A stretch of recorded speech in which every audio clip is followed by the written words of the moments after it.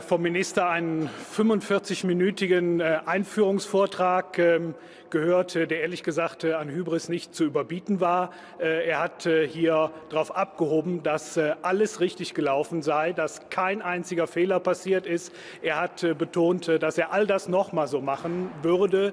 Ähm, ich frage mich ehrlich gesagt, wie kann jemand, der die politische Verantwortung für dieses Desaster trägt, aus heutiger Sicht hier so ähm, Stellung nehmen? Wir haben hier im Ausschuss über Monate herausgearbeitet, vorbereitet, äh, ein ähm, Ministerium, äh, Entscheidungsstrukturen beleuchtet, äh, die deutlich machen, wo selbst der Koalitionspartner von organisierter Verantwortungslosigkeit spricht. Wir haben eben zum Beispiel herausgearbeitet, dass Herr Scheuer sehr wohl in die Vergabeentscheidung Paspagon eingegriffen hat, am Ende die Entscheidung getroffen hat, gleichzeitig auch über Tollkollekte als Ersatzfinanzierung für Bundeshaushaltsmittel und damit das Einsetzen von Steuergeld äh, gesprochen hat. Er selber hat hier eingegriffen. Äh, das widerspricht diametral seiner eigenen Darstellung. Insofern äh, trägt der Minister für das ganze Desaster die Verantwortung und dass er versucht, hier alles von sich zu schieben und jede Verantwortung von sich weist, das ähm, halte ich für unglaublich und eine Fortsetzung dieses ganzen Mautskandals. Wir haben heute einen Minister gesehen, der zu seinem Leuchtturmprojekt sehr wenig Informationen bekommen haben will. Das hat mich sehr erstaunt. Er erzählte uns, er hat nachgefragt, ob alles läuft. Und der Staatssekretär Stulz hat ihm immer wieder bestätigt, ja, es läuft. Auch eine Sache, die erstaunt, der immer wieder Verweis auf den Staatssekretär, die Abgabe der Verantwortung auf die nächstniedrigere Stelle. Und was erstaunlich ist, dass ähm, der wichtige Punkt, nämlich dass nur ein finales Angebot und das auch noch viel zu teuer abgegeben wurde, ihn eigentlich wenig interessiert hat. Er deutlich später erst nach eigenen Angaben davon erfahren. Bis jetzt bestätigt sich eigentlich das, was wir in der Vergangenheit immer wieder von den Zeugen und Zeuginnen gehört haben, quasi eine organisierte Verantwortungslosigkeit. Jeder schiebt es auf den anderen und keiner will es gewesen sein. Die Vernehmung hat noch mal klar gezeigt, dass Herr Scheuer im Dezember 18 einen Vertrag hat unterschreiben lassen, dessen eigene Schadensregeln er nicht kannte.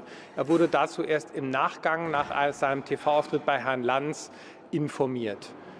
Er hat eine völlige, eine Reihe an Lücken zu den gesamten Vergabeverfahren. Es gibt hier monatelang keine einzige Ministervorlage. Und besonders aufschlussreich war die Tatsache, dass es zwei Tage vor dem Gespräch mit den Betreibern einen Vermerk aus seinem Ministerium gibt, dass das Ministerium selber überlegt hat, die Einführung der Pkw-Maut um ein Jahr zu verschieben. Minister Scheuer hat ja mehrfach darauf verwiesen, dass dieser ganze Gedanke absurd sei. Sein eigenes Ministerium wollte den Start der Pkw-Maut ein Jahr verschieben. Angeblich hat er dies nicht gewusst. Er hat also einen Vertrag unterschrieben, dessen Schadensersatzregeln er nicht kannte.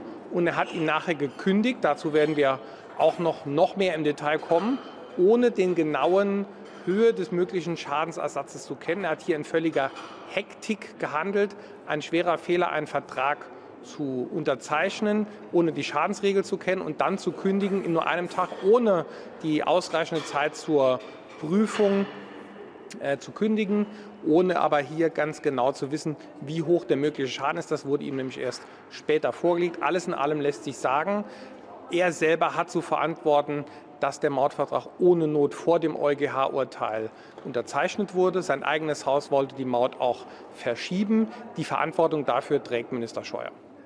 Auch ich darf zum jetzigen Zeitpunkt ein gewisses Fazit äh, ziehen und kann nur noch mal unterstreichen, dass sich auch in der heutigen Anhörung bisher die Vorwürfe an keiner Stelle bestätigt haben. Und wir sehen tatsächlich äh, den Minister als eindeutig entlastet an. Wir haben also bereits abgeschlossene Gesetze. Das ist der Punkt, den ich hier besonders noch mal erwähnen wollte.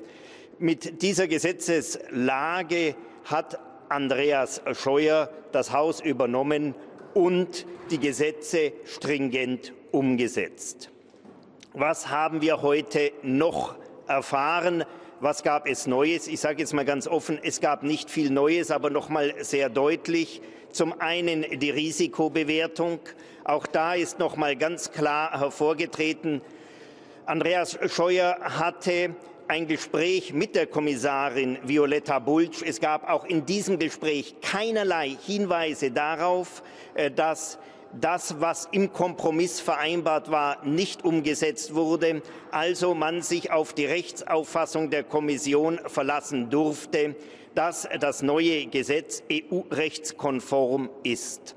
Ich kann also für uns heute zusammenfassen, ordnungsgemäßes Gesetzgebungsverfahren unter Alexander Dobrindt, ordnungsgemäße Umsetzung unter Andreas Scheuer. Die Vorwürfe haben sich nicht bestätigt. Das Urteil des EuGH bedauern wir weiterhin. Aber wie hat es Andreas Scheuer genannt? Und das gilt wohl für alle hier verkehrspolitisch Tätigen. Das Thema Nutzerfinanzierung bleibt weiter auf der Tagesordnung. Dankeschön.